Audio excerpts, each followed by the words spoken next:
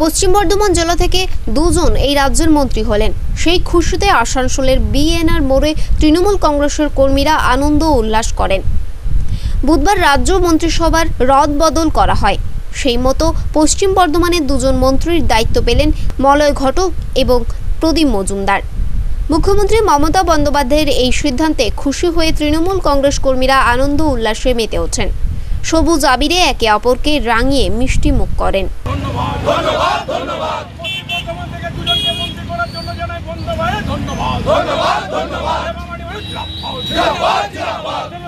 আজকে পশ্চিমবঙ্গে মমতা বন্দ্যোপাধ্যায় মন্ত্রিসভার বিস্তার করেছেন।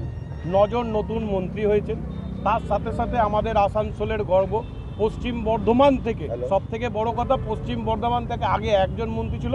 এবার প্রদীপ মজুমদার দুর্গাপুর থেকে ওনাকেও মন্ত্রিত্ব দেওয়া হয়েছে।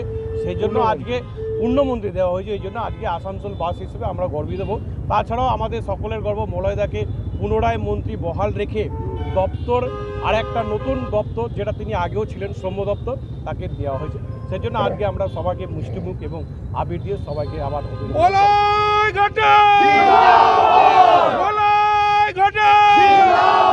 আসানসোল থেকে সৌমিত্র গাঙ্গুলির রিপোর্ট আনন্দবার্তা।